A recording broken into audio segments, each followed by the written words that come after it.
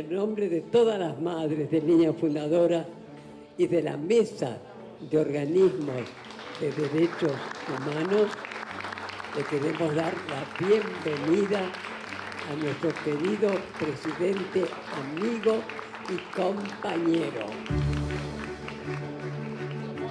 Estou aqui para dizer para vocês, obrigado por pessoas como vocês por existirem. Se vocês não existissem, certamente a democracia seria mais difícil. Muchísimas gracias, querido amigo, compañero, presidente. Y no está solo, somos muchos los que lo apoyamos y que le deseamos lo mejor en su nuevo mandato. Muchas gracias. ¿eh?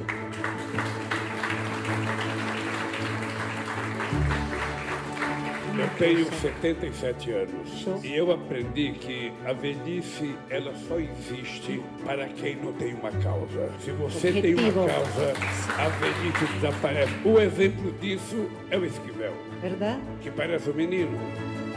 Yo pensaba mientras hablaba que es raro encontrar a dos presidentes constitucionales sentados en la misma mesa y reunidos como estamos reunidos. No es común,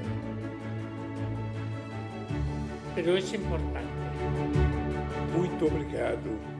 Muchísimas que vocês gracias fizeram. por todo lo que obrigado. ustedes. Te deseamos lo mejor.